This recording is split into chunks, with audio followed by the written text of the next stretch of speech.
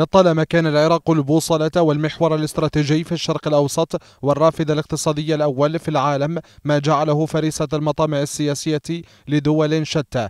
إلا أنه اليوم يحتفظ بثيمته التي تزن أهميته الثقيلة في المحور الدولي.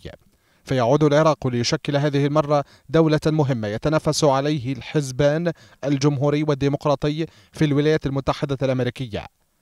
ولا غرابة أن ينشغل رئيس مجلس الوزراء مصطفى الكاظمي بمحاولات مراوغة انتخابية بين المتنافسين الأكثر شعبية في أمريكا الرئيس دونالد ترامب ومنافسه الديمقراطي جو بايدن.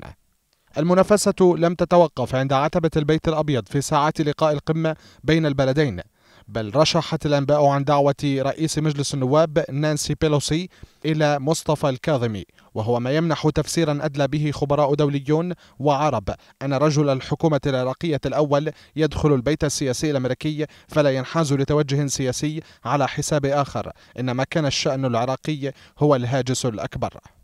حاجة العراق اليوم إلى تحقيق مكاسب سياسية في الساحة العراقية وتغيير نهج بغداد المقبل سيما في التعامل مع أشد الأزمات التي تواجهها البلاد. الأمر الذي عمق فجوة غياب الثقة بين المواطن وحكومته فيما مضى.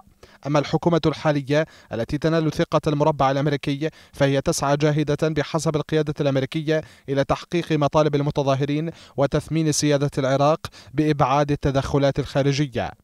الزيارة الاستراتيجية العراقية إلى واشنطن ينتظرها العراقيون بعيدا عن أجواء المنافسة الانتخابية الأمريكية بجني ثمار إصلاحات وخدمات وكهرباء وحال اقتصادي وعلى رأس الأولويات إيقاف مسلسل الدم والاغتيالات.